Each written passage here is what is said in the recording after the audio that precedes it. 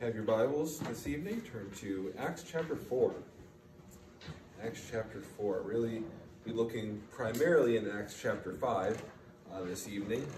We've been in chapter 4 for quite a bit, and there are two verses at the end that tie in better with the beginning of chapter 5 and what we'll be addressing tonight. So we're going to lump them in uh, here tonight. Uh, Acts chapter 4, looking at verses 36 and 37 and into chapter 5 all the way down to verse 11. So taking a little bit of a, a bigger portion of scripture this evening. And we have been really tracking a lot of the movements of the early church, a lot of things that have been happening. We've seen some crossroads that we've approached uh, the early church had to face as they were beginning um, in these early infant stages of the church uh, that we've been tracking through the first four chapters. Uh, one of the first major crossroads that we looked at was the introduction of persecution. There was introduction of persecution that was placed upon Peter and John uh, for their preaching of the gospel and for the healing of the lame man at the temple. Uh, and as Peter and John are persecuted in prison, then later commanded to no longer speak or teach in the name of Jesus.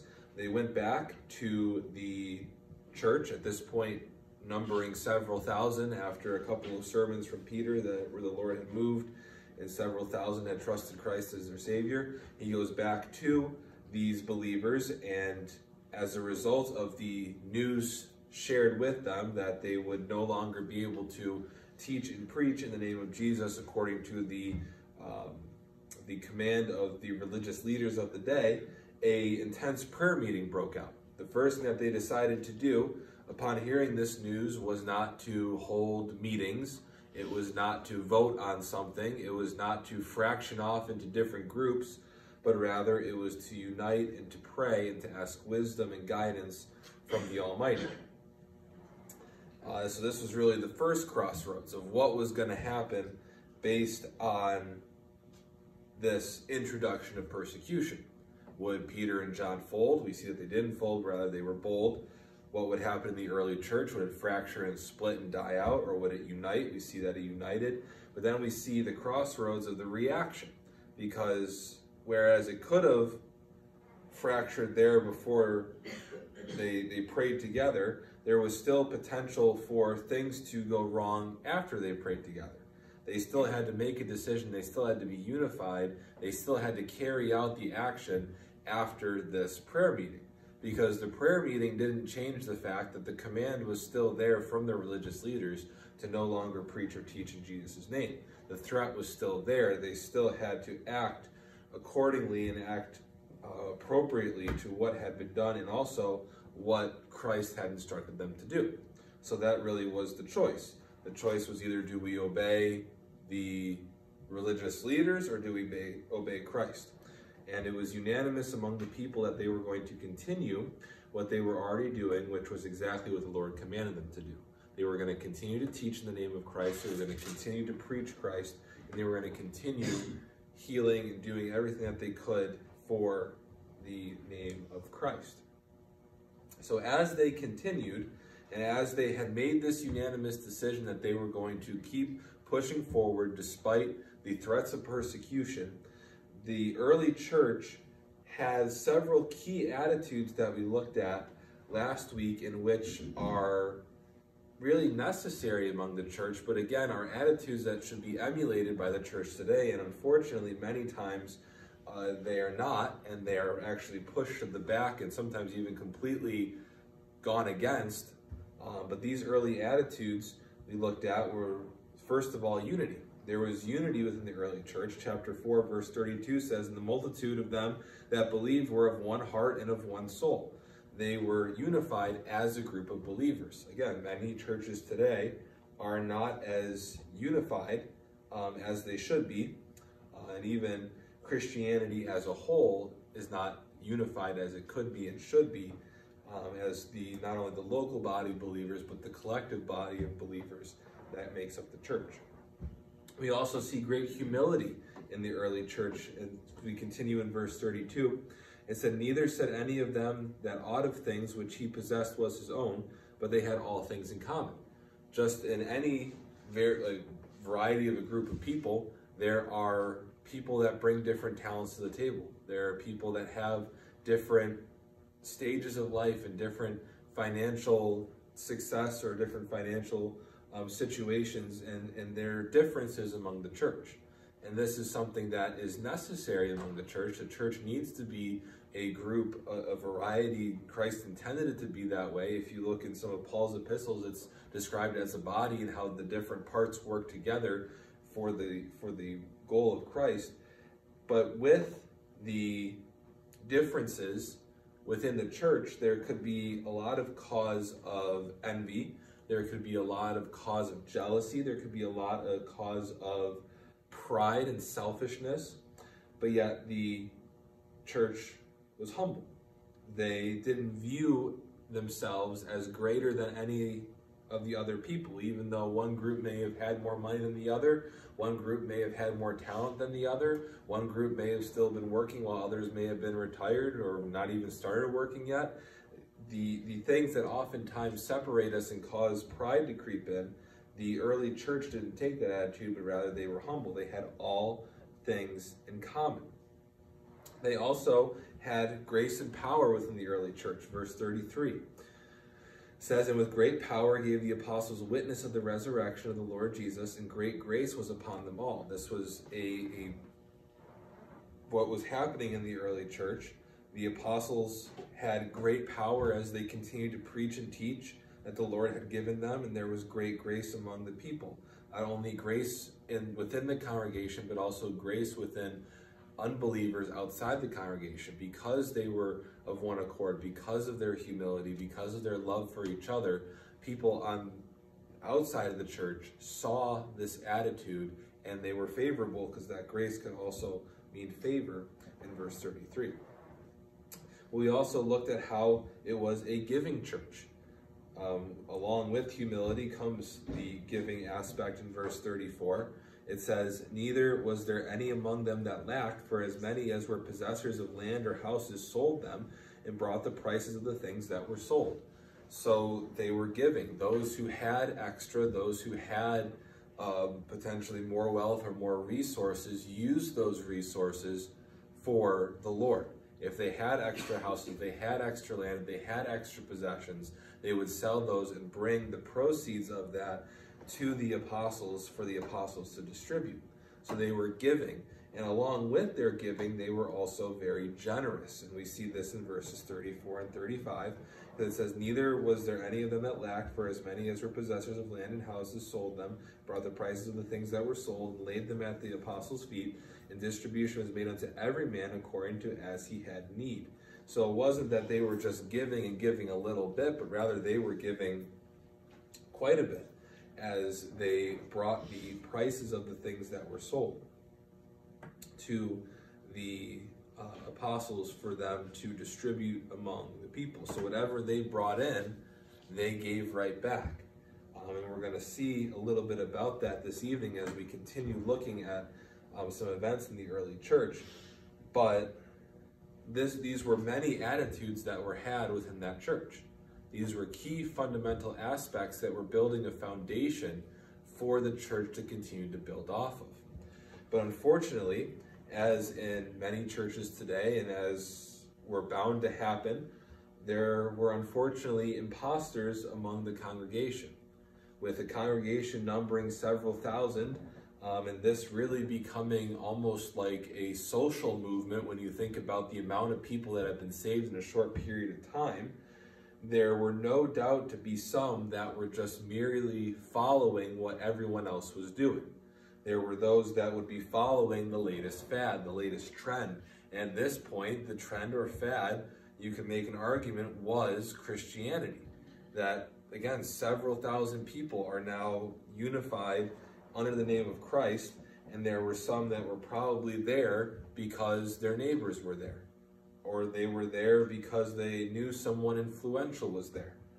And there were people that were just going through the motions, just following along, not truly meaning or understanding what exactly was taking place. So we're going to see this evening what happened in the church, the exposing of the imposters, and the purpose of this exposing. So let's first look at what was happening in the church. So if you want to keep an outline, keep notes of an outline, the first point is what was happening in the church. What was currently happening. And we see this in verses 36 and 37 of chapter 4. And again, this is playing off of what we've just been talking about. But in verse 36, it says, And Joseph, who by the apostles was surnamed Barnabas, which is being interpreted the son of consolation, a Levite, and of the country of Cyprus, having land, sold it, and brought the money and laid it at the apostles' feet. So again, we're looking at, just as we did a couple weeks ago, the church was growing. There were needs among the people. And as the church was unified, as the church was humble and generous and giving, they helped each other out. And they did this by, again, giving financially to the apostles who would then distribute among the people. And the way many of the people gave were exactly as Barnabas did, in which he had land and he sold it and he brought the proceeds again to the apostles. And this was the example that is given to us, the example of Barnabas. And we could take the time to really dig into Barnabas a little bit more, but that really isn't the purpose of this point or the message this evening. But we're seeing this standard being set by not just the by not just Barnabas, but really the congregation as a whole. But I believe we have Barnabas here to really set the standard, set the example of what was being done in the fact that he took the land, he sold it, he brought the money that he received from it, and he laid it at the apostles' feet in a very, and again, most of the people that were doing this were doing this in a very humble way. They could have been bringing a lot of attention to themselves by saying how much they were giving, and I'm sure there were some that may have acted like this. There were some that probably expected some form of recognition, uh, but we see that again, Barnabas being this example, it doesn't say any of that. He didn't seek any uh, notoriety for his giving. He didn't receive. He didn't seek any um, anything in return for the fact that he was giving. He, in all humility, had sold that land and laid it at the apostles' feet. And again, this was something that a lot of the wealthy Christians at the time were doing. Um, and so many times when movements like this happen in a church where everyone seems to be doing something, everybody wants to jump on the bandwagon.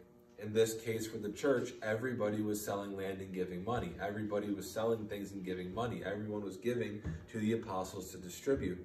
So there were many that wanted to be like everyone else. They wanted to be similar to everyone else. They were jumping on the bandwagon and, and giving, but not everyone had motives like Barnabas. Not everyone was giving with the right intent, giving for the right reason. And we are going to look at that now as we have our second point of the exposing of the imposters. Exposing the imposters. And we get this from chapter 5, verses 1 through 11. It says, But a certain man named Ananias, and with Sapphira his wife, sold a possession, and kept back part of the price, his wife also being privy to it, and brought a certain part and laid it at the apostles' feet. But Peter said, Ananias, why hath Satan filled thine heart to lie to the Holy Ghost, and to keep back part of the price of the land? While it remained, was it not thine own? And after it was sold, was it not thine own in thine own power? Why hast thou conceived this thing in thine heart? Thou hast not lied unto men, but unto God. And Ananias, hearing these words, fell down and gave up the ghost. And great fear came on all them that heard these things. And the young men arose, wound him up, and carried him out, and buried him.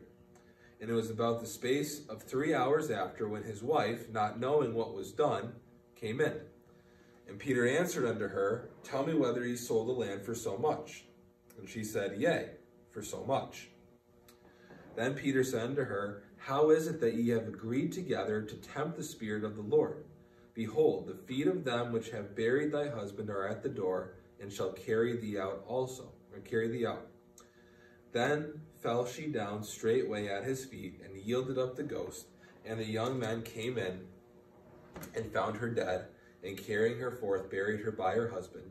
And great fear came upon all the church, and upon as many as heard these things. So we see here the imposters, or the ones that are at least talked about here, of Ananias and Sapphira. Um, we see the introduction of this couple who are about to be exposed. Uh, they were a part of this early church and apparently wealthy. They were landowners, um, or at least they were appearing to be wealthy uh, because they sold their possessions. They sold this bit of land um, in order to be just like everyone else and bring it to the apostles. Right? Everyone else was selling this land, so Ananias and Sapphira decided, hey, we have a little bit of extra land. Let's sell it and bring the proceeds like everyone else is doing. Um, but we see that they didn't bring the entire proceeds. They, they brought part of it. But they said that they brought the entirety of what they sold it for. So they came up with this scheme with within their hearts, both Ananias and Sapphira, they were both in this together, um, and decided that we're going to sell this land. We're going to take the money. We're going to keep some of the money for ourselves, but then let's give the rest to the apostles like everyone else is doing, and then tell them that this is what we sold the land for, so we fit in with everyone else of selling the land and giving everything to the church at the time. So as Ananias brings this to Peter, we see Peter having great discernment, and I believe that this is discernment from the Holy Spirit. I believe this is something that was supernatural that the Spirit prompted him with, because really, Peter probably wouldn't have had a great idea of what the land was actually sold for. He probably didn't know how much land was even sold. Again, there were several people that were doing this. The church was numbering in the thousands, so it's not like Peter had this great knowledge of, of Ananias and Sapphira and the, the portions of land that they owned, and he could make this deduction that, you know what, I know the piece of property that they sold and it should have brought more money than he's giving me. Again, he potentially had no idea really who Ananias and Sapphira were.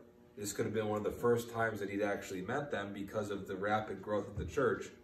So having this discernment, having, again, what I believe to be supernatural discernment that was given to him by the Holy Ghost for a specific purpose, questions Ananias and asks him, Why hath Satan filled thine heart to lie to the Holy Ghost and to keep back part of the price of the land? So this discernment allowed Peter to to point out to Ananias, you didn't sell this land for this much. You're holding part of this back.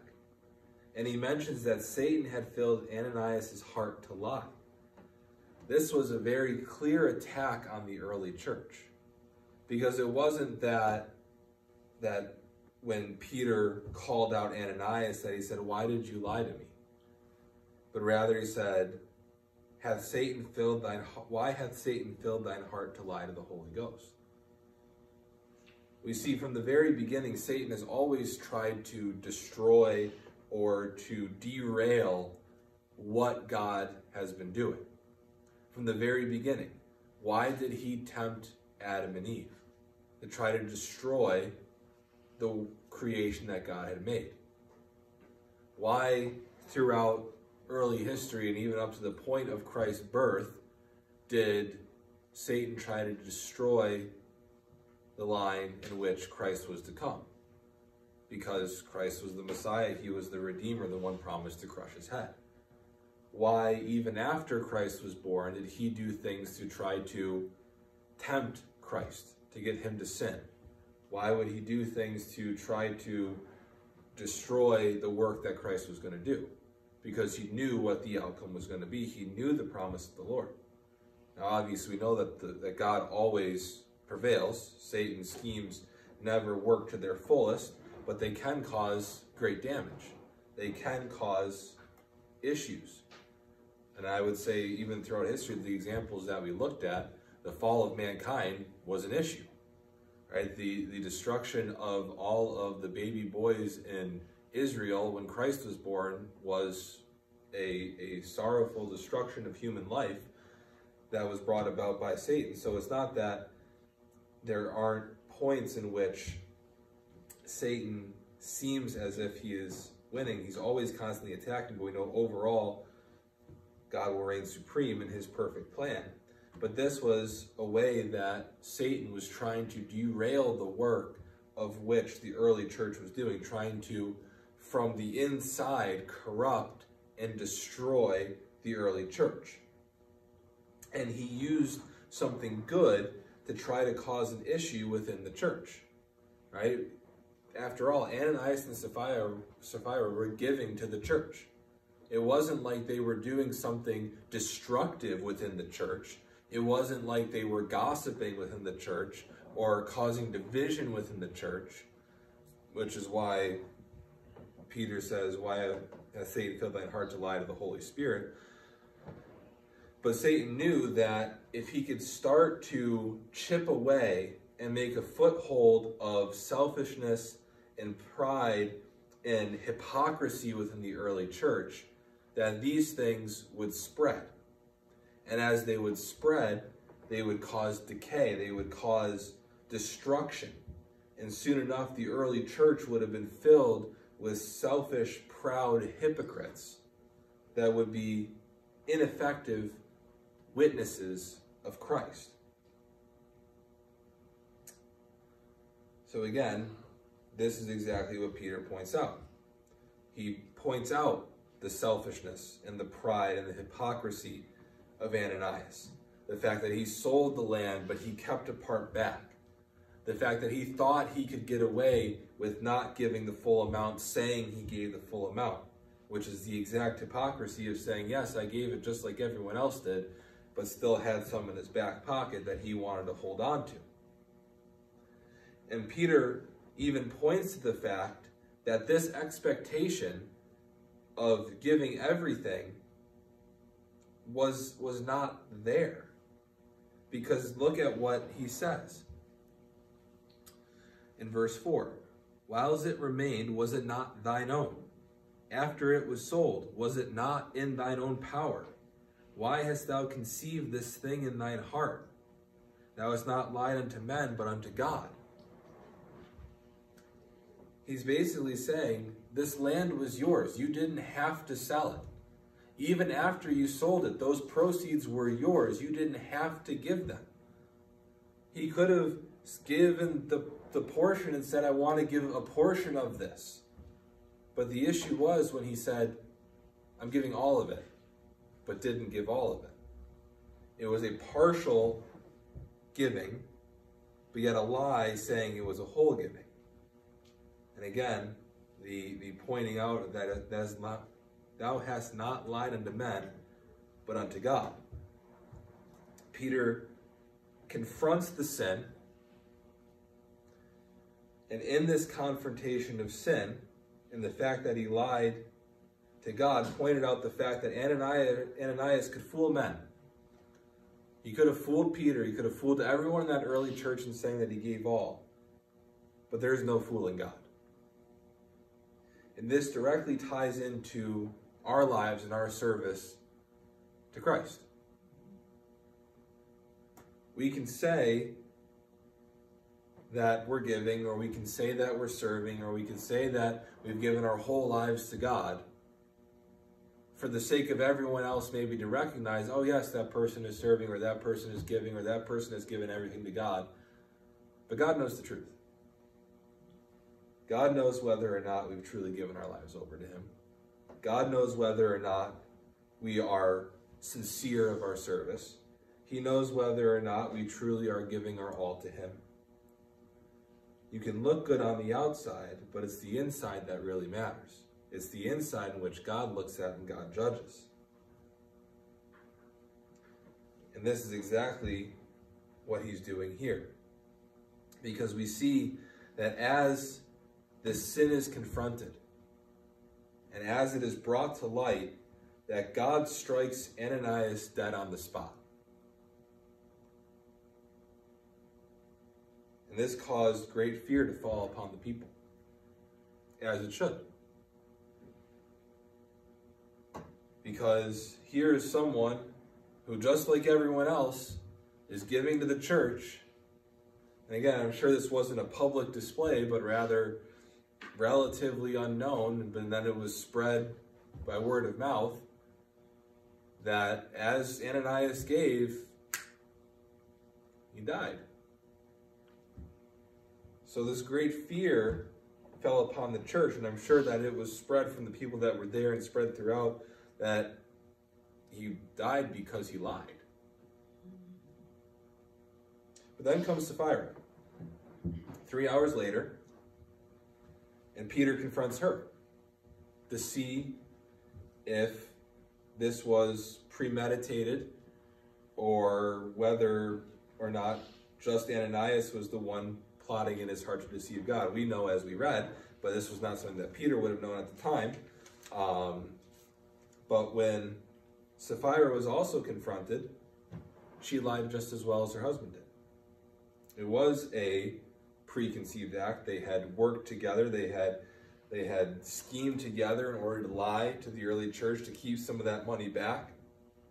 So she too suffered the same fate as her husband and was also struck dead for her sin. And once again, great fear fell on all those who heard. So we see a very, very interesting crossroads and a necessary crossroad for the church here. It's growing at a rapid pace thousands of people. Persecution has come, but they're still going strong.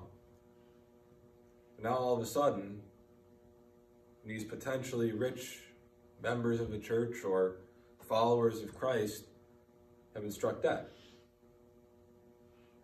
for lying. Seeming like they were doing good, yet being hypocritically proud and selfish. So, what was the purpose? I mean, after all, isn't it a bit extreme what happened to Ananias and Sapphira? I mean, they were just giving to the church. And this was just a, just a little lie. I mean, what did it really affect? I mean, the money was still being given. This little lie couldn't be that bad. Why were they killed? For what purpose did this serve? And the answer to this is, is a multifaceted answer. But the first part is revealed in Peter's confrontation of Ananias. Within his confrontation of Ananias, we see that Satan was the one trying to plant the seeds of corruption in the church. He was the one who planted the lie or planted the, the idea within Ananias' heart to lie to the Holy Ghost. So he was Satan was trying to destroy the church through corruption, through sin. And with the church being in its infant phases, we see that God protected the church through great power and punishment. Because again, remember, great fear fell upon all people. This would have sent the message to the church that there is no room for imposters.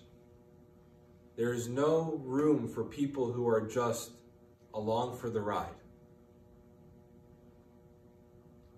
This isn't a social movement. This isn't just the club that you can join and give some money to have a membership card. This is serious business. And God wanted everyone to know that in that early church.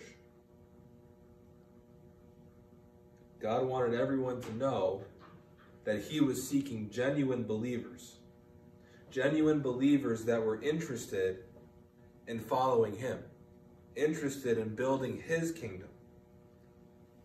He's not looking for selfish, proud, arrogant hypocrites that think they can lie to God but get away with it because no man knows. He's not looking for people that are looking to build their own kingdom. And this is true today. God is still seeking genuine believers. God is still seeking those who are invested in following Him and in building His kingdom. Which brings the challenge to us. Are we selfish, proud, arrogant hypocrites seeking to build our own kingdom?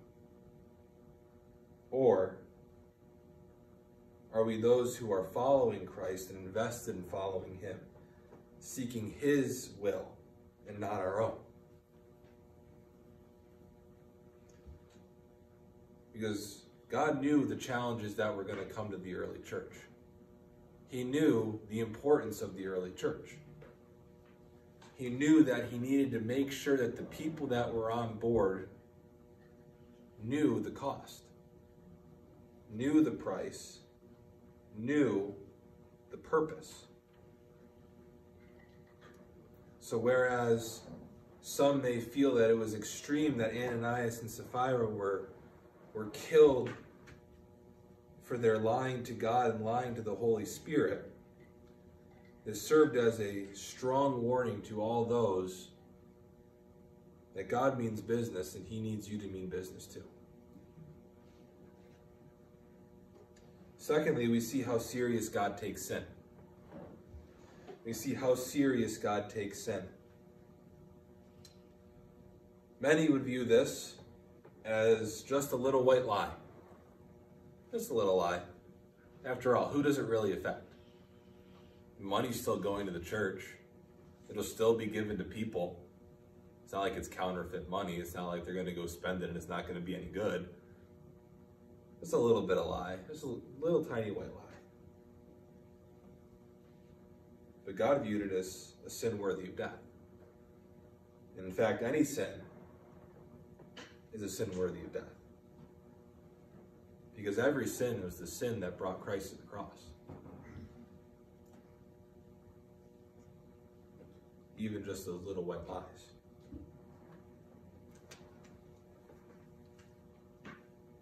We far too often treat sin flippantly. We don't see it as God sees it. If we started to see sin as God sees sin, then serious transformation would begin in our lives. If we knew how much sin displeased God, how much sin grieves God,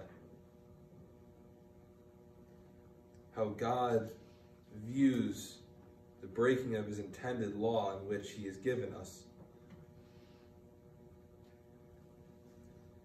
And we align our lives according to that view. And we're completely different people. And this is something that we should be seeking. We should be seeking to view sin as God views sin. Understanding, as I said before, that every sin, even the smallest one, caused Christ to go to the cross, necessitated Christ's blood to cover, was enough to break our fellowship with God. So when we think that it might just be a little white lie, it might just be a curse word that's fairly common and no one would bat an eye.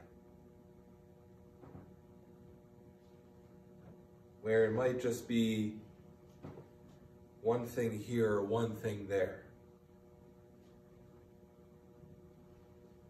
God views it seriously.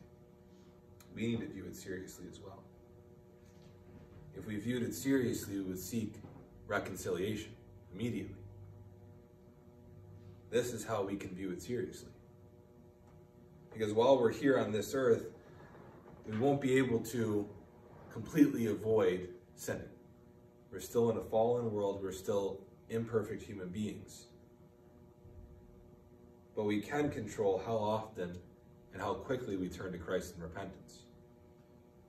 If we viewed sin seriously, we would turn immediately for repentance. When we mess up, when we sin, immediately turning and asking for forgiveness. And finally, we see that good deeds with the wrong intentions miss the point and miss the mark. Ananias and Sapphira were giving to the church. They were helping the poor. They were doing what many would consider good. But their motive was wrong. It wasn't done to please God. It wasn't done to glorify Him. But rather, it was to please man and to glorify self.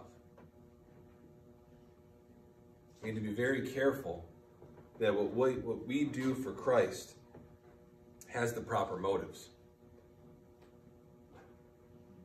That we are serving Christ because we want to please Him. We are serving Him because we want to glorify Him. That we want to treat sin properly because it pleases Him and glorifies Him. Far too often we allow our service to become more of service to ourselves. Whether it is to bring more attention to ourselves, to feel as though we are doing good, to feel as though we are vital to the church, all to bring glory to us. Everyone look at me. Look at how much I'm doing. Look at how well I'm doing it. Instead of humble service, that I'm doing this because I know God wants me to do this. That it's a way that I can glorify Him. It's because a way I can please Him. There are several lessons for us from this. We just looked at many of them. It was lessons that the early church needed to learn. Fortunately, it was at the expense of Ananias and Sapphira's sin. But we know that Satan is trying to destroy the church from within. That hasn't changed. He's trying to find those who may be susceptible, to find those who may be weak. And he's looking to attack. This is why we have so many warnings within Scripture to stand strong, to put on the armor of God, to stand in the strength of Christ and not our own. Because we have an enemy. We have one who is looking to devour us. Are you standing strong against Satan's attacks? Are you standing firm in Christ's power and in his word? The best way to do that is to be in it. To be in God's Word. To be studying it. To be building ourselves up in the faith. Are we taking sin seriously? Do we view sin as God views sin? Well, Sam, how do I view sin as God views sin? How do I actually get that view? It's right here right, in His Word. Particularly if you want to view sin as God views sin, start reading the Old Testament. You'll see how God views sin. There are many today that say the Old Testament is not relevant. It's just the New Testament. But we can gain such a clear picture of who God is and what he does and what he likes and dislikes from the Old Testament. So study, read, put in the effort to understand how God views sin. I mean, a great starting point is the fact that sin was so costly that it cost the Son of God's life.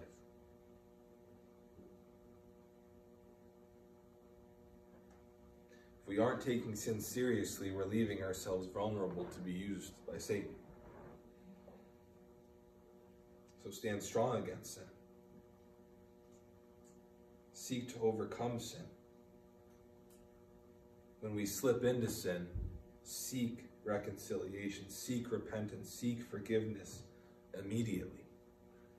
Not at the end of the day, not every Sunday, but every day. It's one of the many blessings of being a Christian and having the Holy Spirit is the ability to go to prayer at any point and ask for forgiveness. And finally, how are our motives? How are our motives? Are we seeking to please and glorify God with everything we do and everything we say? Or are we seeking to please man and glorify self? These questions are questions that only you can answer. I can't answer them for you. Your friends can't, your children can't, your parents can't, your pastor can't. Things that need to be searched in our hearts. And honest time before the Lord, pouring out to Him, seeking His guidance, seeking Him to reveal areas in our lives in which we may be weak in views in ways we may not view sin seriously, in ways we may have selfish motives in our service. So take that time. Take that effort. It's vitally important. God knew it was important, which is why Ananias and Sapphira were struck dead. Because he knew the importance of genuine, pure believers serving him in the church. Let's seek to be those. Let's pray. Father, just thank you for this day. Lord, we thank you for the lessons that we learn from your word. And even though they may not seem right to us, they may not seem fair to us, they may not seem just. And this is where faith in you is so vital and necessary to know that everything that you have done is true and pure and just. As oftentimes our definitions for even those things come from you. help us in our service for you, to not do it to merely please ourselves or to please others, to bring self glory, but rather to glorify you and to seek you and your kingdom. Lord, I also pray that we would view sin seriously as you do. we oftentimes don't want to because it hurts, it's painful. Lord, it's necessary. Lord, help us also to stand strong against the attacks of the devil. Stand firm in your word. May each and every one of us purpose within our hearts that we won't be that weak link. That Satan won't gain a foothold in this church because of me. Lord, as we seek and purpose that and, and commit that to you, as we pursue that, Lord, we know we'd see blessing from you as we, with our whole hearts, do that. Praise things in Jesus' name.